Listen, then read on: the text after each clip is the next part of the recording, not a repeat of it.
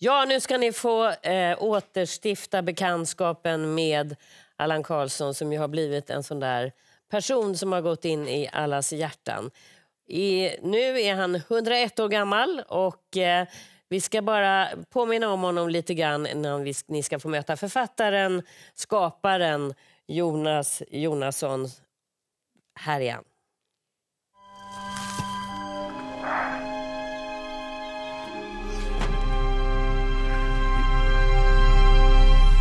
Ursäkta, är hon singel?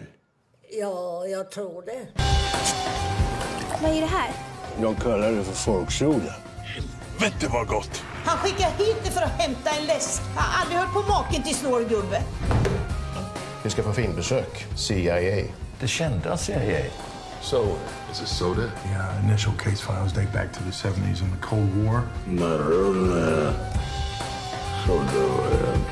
Get me another bottle of that. But that's the only one we have. That's not my problem. Get me another bottle. Grogg är nog fan mer min melodi. What we need to do is look up Alan Carlson. He uh, grew up in smoke last year. Ska du ut och svänga? Inte vad jag gjort. Ja, det är syster Alice här på hemgården. Nu händer det saker här, förstår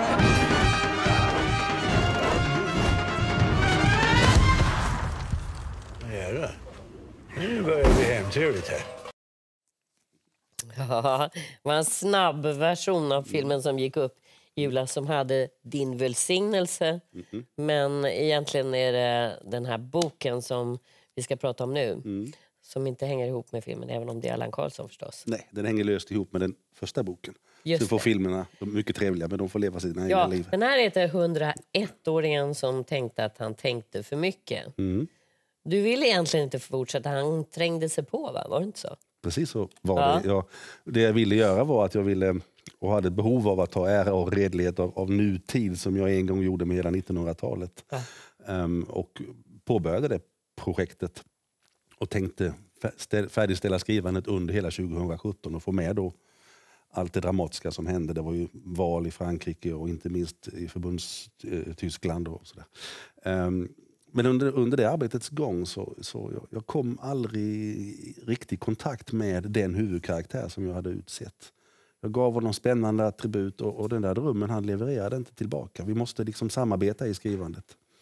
Um, och då, på en pir på Gotland eh, med lite havsstänk i ansiktet så, så tänkte jag att om man skulle ta kolla om inte... Vad vad skulle Allan ha sagt i den här situationen? Och det satt ju direkt. Va? Han bara kom. Han bara kom. Och då skyndade jag mig hem, satte mig i laggon på kontoret där och, och, och testade ett helt kapitel. Och där, så han, han var tillbaka. Och Martin hette den där karaktären som inte levererade. Fick gå på dagen. Han fick vänta, sitta på paus kanske. Mm. Men du, vad är det med dig? Du sitter och ska ta heder och ära av den tid vi lever nu. Du sitter i en idyll på Gotland. Jag har varit och hälsat på dig. Det är, Mm. jag vet inte om du fortfarande har höns, men det var sådär. Som, eh, ja, ur, om man nu ska jämföra med en annan författare, Bullerbyn. Mm. Och där sitter du och, eh, Kurar. ja, och, tar och, och tar en väldigt svart berättelse. Mm. För nu ger sig Allan Karlsson ut i världen. Mm. Och världen är nästan på väg att gå under. Det är liksom det intryck man får. Ja, jag Det är världens undergång som Jag han blandar ju mina fantasier och glimt i ögat av rena överlevnadsskäl. Vi måste ju kunna skratta åt eländet. Med verkligheten. Det Ja. Jag tycker det är, det är väldigt illa ställt just nu. För du sitter också på en ö som har ett väldigt strategiskt läge. Mm. Det är ryssar, det är kineser. Elen går över hela Gotland. Ja, Du hela kanske tiden. får inspiration också, tänker jag, vad som händer ibland. Ja, ryssen. Vi, vi gotlänningar, om jag får kalla mig sådan, eh, vi, vi glömmer aldrig. Ryssen var och vände 1808. Eh, Han intog ön i, i 21 dagar. Och det minns vi än. Ja, precis. I say no more. Ja. Men du, om man då återgår då till eh, 101-åringen som får en svart platta i sin hand Mm. i början på Bali Mm. och tänker, vad är det här för manik? Och den blir väldigt viktig i den här berättelsen. Mm. En padda. Just det. Därifrån hämtar han all sin information om världen. Han blir ju väldigt, under resan jorden runt med Allan och hans vapendragare Julius så, så eh, bläddrar han ju i den där paddan hela tiden. Och det han tycker väldigt mycket om det är de där små pittoreska nyheterna. Han, han är lite förtjust i eller fundersam kring, glatt fundersam kring när han läser om till exempel att tusen läkare och sjuksköterskor i Neapel eh, har bestämt sig för att stämpla in och ut varandra på sjukhuset så att, så att alla får lön och ingen behöver jobba. Det tycker ju Det är en alla typisk Allan Karlsson. Precis. nyhet. Men på köpet till sin så småningom förfäran så, så får han ju se sammanhang i större perspektiv också. Och då åker han bland annat till Nordkorea Ja, och träffar Nordkoreas ledare. Kim Jong-Un. Ja. Mm. Vad tycker han om honom? Mm, ja, det, det var nog inte så mycket fråga om det utan mer hur ska vi överleva det här? Ja. Ehm, och lösningen fick bli att eh, tuta i eh, Nordkoreas ledare att, att Allan 101 är, är då världens just nu ledande kärnvapenexpert. För sådana tänkte de um, har nog inte Nordkoreas ledare livet av i första taget. Mm. Så köpte de sig lite tid på det. ja. Och Margot Wallström har fått en eh, roll här också. Ja, en ganska sympatisk roll Ja, hon är jag. en sympatisk Ja, person. ja. Det är däremot inte de här världsledarna. Trump, Nej. Han gillar inte honom heller. Men ehm, en och annan har uttryckt oro över vad ska, vad ska Ja. Kim Jong-Un tycka om den Ja, här precis. boken och, och vad ska Donald sånt- Trump tycka om boken. Men Trump tänker jag lösa för han läser väl inte böcker? Va? Nej, du, du, det, men det är möjligt att han får twittra till sig vad du har skrivit just med just honom. Någon sammanfattning på 140 Ja. tecken. Ja. Men du, eh, har du tänkt så? Vad kan de här ledarna tycka? Till exempel Nordkoreas ledare. Vi eh, kollade faktiskt försiktigt med, med, med vårt förlag i Sydkorea. Ja. Ehm, Allan och mina andra karaktärer är jättepopulära i Sydkorea. Mm. Eh, de tänkte att, och sa att nej, det är nog ingen fara. Han- Kim Jong-Un har annat att tänka på. Och sen så kom boken Det ut. kunde man ju säga även om det är Kina och det som nyligen har spelats upp med en satir i eh, SVT. Det Mm, har just det. blivit ett eh, diplomatiskt Mm, eh, mm. problem. Mm. Ja, men eh, vi får se om jag Ja. överlever året. Men du, eh, vad, vad, har varit din eh, tanke när du skrev det här att han ska besöka de här olika platserna?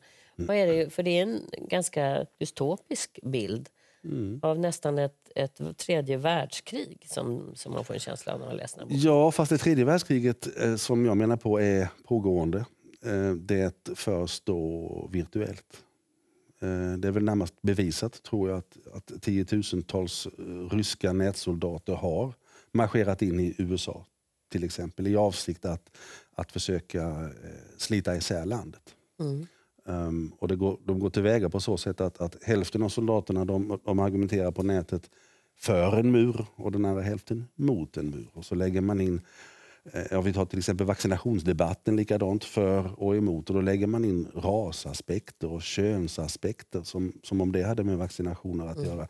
Allt för att få eh, reaktioner och att reaktionerna ska dra isär eh, samtalet och, och, och landet. Nu sitter ju inte du här som någon eh, expert på eh, försvarspolitik eller säkerhetspolitik utan du är ju författare med den frihet man har som författare. Men jag tänker att det är ett smart grepp. Precis som Astrid Lindgren använder barn så använder du hundraåringen. Ja. Det är väldigt gamla människor. Någonstans så, så är det som att då köper man det. Då skrattar man och till och med tycker att det här eh, ja, man tycker att det är roligt. Saker som egentligen man aldrig hade skrattat åt om det var en medelålders man som reste runt som Allan Karlsson. Det är intressant det du säger. Att jag, jag har många gånger fått frågan, eh, den moraliska frågan, hur kan vi älska den här gubben som faktiskt han har livet av folk och han ställer till det och han har mycket Ja. dålig moral. Och, eh, hur, hur kan vi ändå ta honom till våra hjärtan? Du kanske har svaret där då att, att eh, barn och åldringar förlåter vi allt. Ja, eh, och varför gör vi det? Vi gör dem ansvarslösa på något sätt. Och det där är en intressant fråga. Är det att se ner på äldre människor och barn? Eller är det att, eh, som du gör som författare, använda dem? Det kanske är då att från barn och gamlingar snarare än från barn och fyllon som man får reda på sanningen. Ja, det är det man brukar säga. Men både du och jag pratade om våra gamla mammor.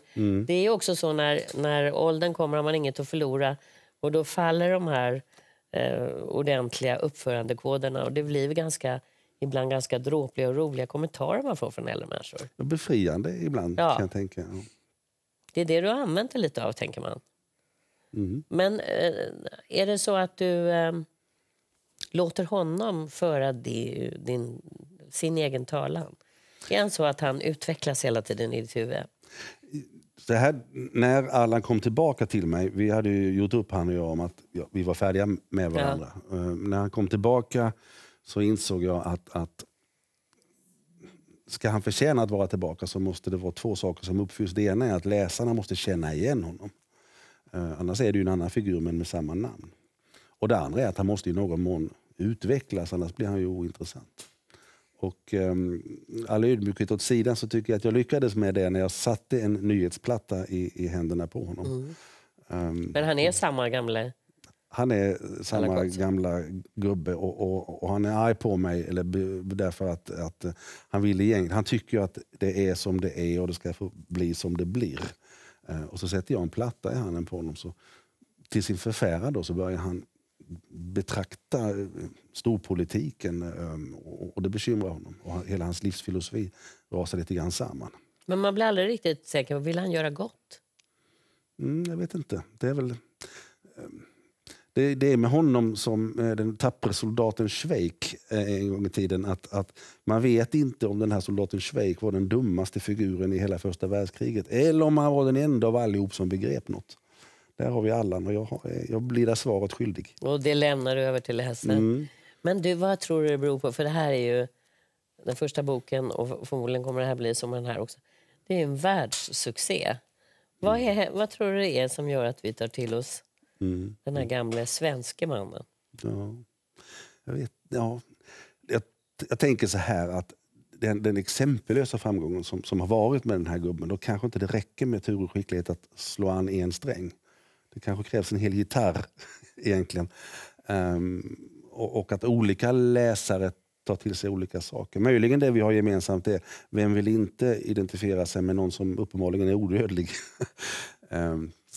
Vad- Och orädd, orädd. tänker jag också. Ja, det är väl det ja. man vill identifiera sig Som inte hukar utan... Precis, respektlösheten. Ja, det är den som är så befriande. Han, han struntar i om du, är, om du är president eller general, eh, utan han behandlar folk som han tycker att de förtjänar att behandlas, oavsett vilket. Mm. Och, och det är möjligt att om vi tar den stora framgången i Sydkorea, då, att om det nu är ett ganska auktoritärt samhälle där man verkligen hukar Mm. sig för, för, för makten eller så, så, så måste ju en sån där gubbe vara jättebefriande.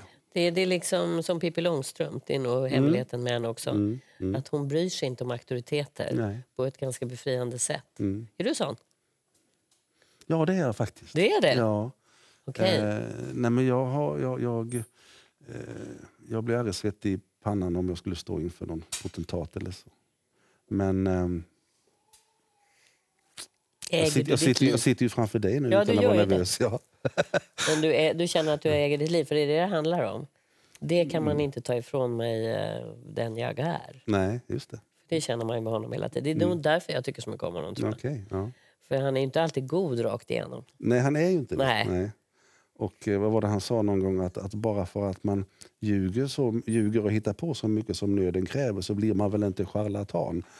Eh, svaret är jo. Jo, det blir man. det blir man. Du, du måste visa den Ja. där som ligger bredvid dig. Just det. Han heter lite olika saker i olika eh, länder. Här heter han, eller boken snarare, The Accidental Further Adventure of the, one, of the hundred year old man. Det är lite svårt att läsa upp och ner. Och den är i den engelskspråkiga världen. England, eh, Kanada, Nya Zeeland, Australien och lite överallt. Men den har inte kommit till USA ännu. I USA kommer den i januari. Wow. Och, eh, jo då, men de, de arbetar med... De är lite roliga där. De översätter ju nu boken från engelska till engelska. Med men din egen historia är ju nästan värt en roman. Hur, du, hur man ser att om man byter bana och karriär så kan det Mm. hända helt oanade saker. Det kanske vi har en sträng till då till varför vi tycker om Allan. Just detta att klättra ut genom sitt fönster. Ja, Och inte kanske försvinna, men att, att, att byta liv. och så. och det finns ett annat liv. Ja. Och det, vi är nog många som kanske borde göra det, men det låter sig inte alltid göras. Jag menar, vi har, vi har um, make, maka, eh, barn, hockeyträningar och, och, och, och bruna räkningar innanför dörren. Och, Plikt. och plikt, plikt, plikt. Ehm, så istället för att klättra ut genom våra fönster så kanske vi gör det i 386 sidor tillsammans med Allan. Och det kan vara befriande nu. Ja, det är befriande. Man kan bli inspirerad. Mm. Du, eh, lycka till med dina succéer.